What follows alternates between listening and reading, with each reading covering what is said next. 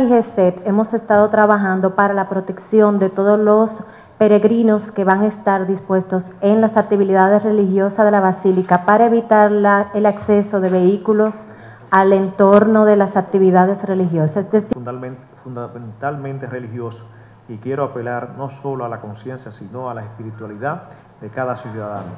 No debes consumir alcohol mientras conduces y si te trasladas en una motocicleta, usa el casco protector. Si conduces un vehículo, usa el cinturón de seguridad y deja el celular hasta que llegue a tu destino. el despliegue, o un refuerzo más bien, de, para la parte, la región este, de 309 agentes. Asimismo, un refuerzo en vehículos, camionetas, motocicletas y grúas, que se sumarán en total a 575 agentes que van a estar ah, dispuestos en el área urbana, en los predios de la Basílica.